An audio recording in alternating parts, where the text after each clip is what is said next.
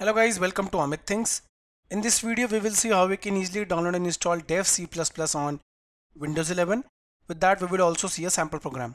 So let's begin. At first we will download dev C++, go to the browser. I am using Chrome, you can use any browser. Here and type dev C++. Press enter. So guys here is the official website bloodshed.net. You can click here and download but the mirror here is very slow so I'll go for the following. Okay so herein you can see dev C++ is visible which is the official setup. So I'll just click on download to download it. This will be an exe file. Now the download started. It's only 48 MB let's wait. We have successfully downloaded dev C++ as you can see here.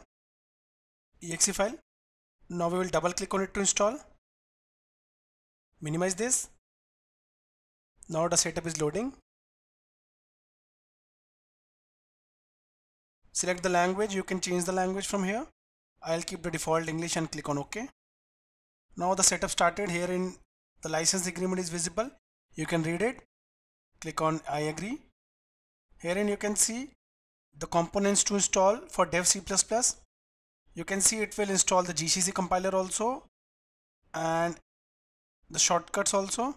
It will take 346 MB only. Click on next. It will get installed under program files. If you want to change the location you can click on browse. You can click on browse from here but I'll keep the default and click on install.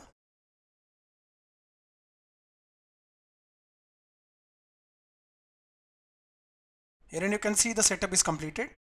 And the shortcut also got created. You can straight away click on finish to run it. But I'll uncheck this and click on finish now we have dev C++ shortcut here, but you can also go to start and type dev. On typing, you can see dev C++ is visible. Click on open to open dev C++ for the first time. Herein select the language. Yes, English fine. Click on next. The font and theme, let us keep it as it is. We can easily change the themes later from here. So I'll click on next straight away.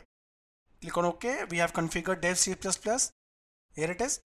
Now let us create a new program go to file click on new and source file let's say. Now let us create a C++ program quickly. This is the header file.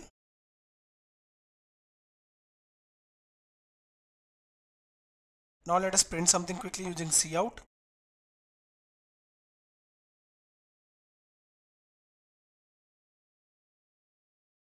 Okay. Now write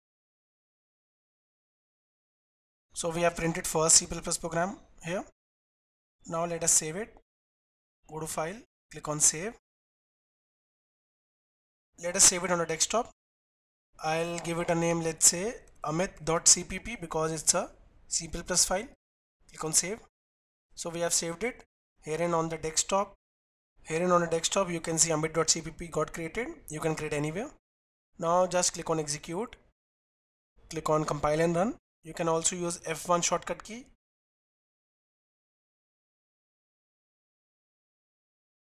Here you can see the compilation result is visible. We printed our first C++ program Amit and the same is visible here. Press any key to exit. Here it is. So guys in this way you can easily create a C++ program.